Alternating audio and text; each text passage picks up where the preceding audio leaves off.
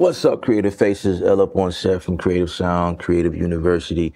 I got a video for you guys. Yes, indeed, we are talking about Studio One Six and what's new, and specifically, we're hitting on the video feature. Now, the video feature has always been in Studio One, but we couldn't do what I'm about to show you in this video. So, we're just gonna open up a new track, and it's gonna be super basic. So, we're just gonna call this video feature. And as usual, you pay attention to the way you save things. And then if you hit this down arrow, it will give you other options. But we're just going to keep it basic for the sake of this video. So we're just going to start this right quick. And okay, sample rate change. All right, great.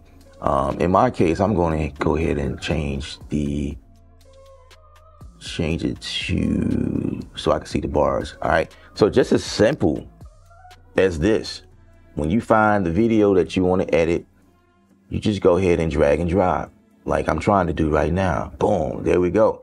Now there's going to be this little window that pops up. You can resize it if you want to, or you can slide it onto a additional screen if you have it connected to your system. If you just so want to be extra fancy, right? So it's cool that we could do that. Now, if I play the video, hello there, great, wonderful people. Elib here. There is a mute button here usually that's probably what will happen to you. If that happens, you can also unmute also, it, right? I'm gonna edit this part out. I promise you, I did that on purpose. So yeah, I did this little video, um, and I'm gonna show you how you can edit. Now, real quick, you should have some headphones on because I want to show you guys something because you're, you're going to be listening to some background noise that we're going to try to fix, right? Um, but Studio One right now is just it's basic, right? You it's basic cutting and moving stuff. This is stuff we couldn't do before. Moving your audio files. It was always when the file comes in, it was wherever it lands. But now we have the option to move our video files around and we can go in and cut. Now, yeah, of course. How did you get the audio? I'm glad you asked. So let's right click here and just say create audio playback track. Cool. Now we have the audio because what better way to edit your video than to see the, the waveforms because that actually helps us find where we need to make our cuts. Tutorial. I'm showing you guys the new video track and that's also, I'm gonna edit this part out. Right. Now, here, here's something I've noticed. If you hit the video track by itself and you you know what I mean? Because you can so you can totally do that. If you have audio that you using, you probably don't want to do it like this and just hit delete because the audio is not going to follow, right? You probably want to do it like this, where you take your marquee tool or your selector tool and select the audio with it and then make your cut, right? But what I find is pretty dang on useful is just switching to your cut tool and then you can cut on the actual video file itself and it will take the audio and like it's like it's linked together somehow which is kind of cool. I'm gonna go back to this and then boom voila.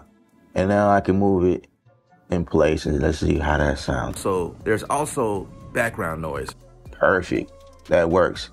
I'm gonna also go ahead and trim the edge and probably give it a fade at the end.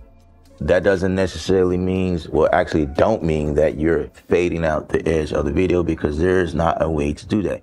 If you want to do extra editing features, you will need to have editing, you know, video editing software such as Adobe Premiere, Logic Pro, DaVinci Resolve. You know what I mean? If you want to do crossfades and animation and blah blah blah but you could definitely add another video in here and it's just straight cut. You know what i mean? This is huge for me and or like people who like to make tiktok videos or youtube videos. This is huge to be able to do these simple things. I appreciate these simple things because i understand that studio one a audio DAW is not going to edit videos. So don't think that you can come in here and do anything fancy. This is this is perfect. So I, I like it just the way it is. Now, because we have the audio pushed out, of course, we can go in and do extra things. We can add a compressor on it because this is what you would typically do. So you treat this audio track as a as a regular audio track. Period. Add whatever you need. Showing you guys the new video track, and that's also there's also background noise, and I'm gonna show you how to wipe that out. Really cool stuff here. Right? So what I'm doing is boosting the signal. Showing you guys the new video track, and that's also there's also back now, if you have headphones on, you will notice that anytime you use a compressor, you boost the signal and that will introduce noise. You know what I mean? So the way you clean this up, guys, this is a great, a great, a great segue to show you guys what I typically use to help me clean audio. So I'm gonna go to my RX plugin and the affiliate link to this will be in the description, by the way. But I'm gonna go ahead and add my my voice denoiser, and this is the uh, ooh, that's the wrong one. Let's uh, let's do that again. Let's go for the 10. You know, I rather the 10 because that's what's new. The algorithms are a little bit better on the 10 version. All right, so we have 10, and so the the the the move, the technique should I say, here is taking a spot where the noise is, and I'm gonna just turn on my loop here, and I'm gonna turn off the adaptive mode, and I'm gonna say learn. So we're gonna learn the noise profile here, right? I took a little bit of me um, getting ready to say something. okay, so all right, so if you listen back to what's going on here, check this out. They're great, wonderful people. Ella here, creating this video for the. It already, it already did a great job cleaning out the the background. But if you want to reduce the noise even more, you just hit this reduction level button here, knob, slider, whatever you want to call this lane. Oh my gosh. They're great, wonderful people. Ella here, creating this video for the sole purpose of this tutorial right? I think it did a great, a, a dang on great job cleaning up the background. Um, so that this is what I use all the time because I understand that mm, there's a lot of situations when you don't have a great mic to use when you do videos. You outside and you you you know what I mean. It's just a lot going on. Sometimes you you're not able to get the best audio situation. So they're great, wonderful people. Ella here. You got an air conditioner in the background, and that's exactly my situation. Clear, great, wonderful people. Ella here, creating this video for the sole purpose of this tutorial. And I could probably boost this a little more. Oh, let's turn, take off the loop. Clear, great, wonderful people. Ella here, creating this video for the sole purpose of this tutorial. Right? Clear, great, wonderful people. And then I could do other things too, you know, because we have, you know, a track where we can just put any and everything on there. I'm also put an EQ on here to help, you know, help out a little bit. They're great, wonderful people. Ella here, creating this video for the sole purpose of this tutorial. Showing you guys the new video track, and that's also. So I don't want it to take out too much, so I'm gonna just say take my curve. They're great, wonderful people. Ella here, creating this video for the sole purpose of this tutorial. Showing you guys the new video track, and right. that's all. I'm gonna go back to my RX plugin and. They're great, wonderful people. Ella here, creating this video for the sole purpose of this tutorial. Showing you guys the new video track, and that's also there's also background noise, and I'm gonna show you how to they're great, wonderful people. Ella here, creating this video. All right. So yeah, I mean, you just you just have to play with it and get the settings. I'll probably have to do do this, you know, learn the profile again, um, maybe.